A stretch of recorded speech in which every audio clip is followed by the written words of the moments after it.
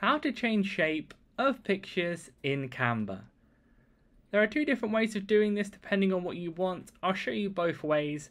So first of all, we're going to go to the elements section. This is going to be if you want to change an existing picture you have on your device and then put it in to like a certain shape. So for instance, you want to have it in a circle, just go to the frame section here. You can click the shape of the frame that you want, drag and drop it in to either, let's say the poster or like the thumbnail, etc. that you have. Then you want to go to the upload file section have a file in there. If you don't have one already, click upload files, upload it in there. Then once it's in there, just drag and drop it in. Then you can go ahead and reshape the picture as you can see me doing here.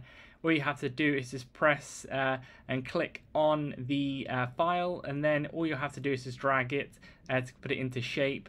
And here's a different version. All you want to do is just uh, click and then make it smaller like this depending on how uh, you want the shape etc. So as you can see that's how it's done. Click done when you're finished Leave a like on the video if it helped and subscribe for more helpful videos.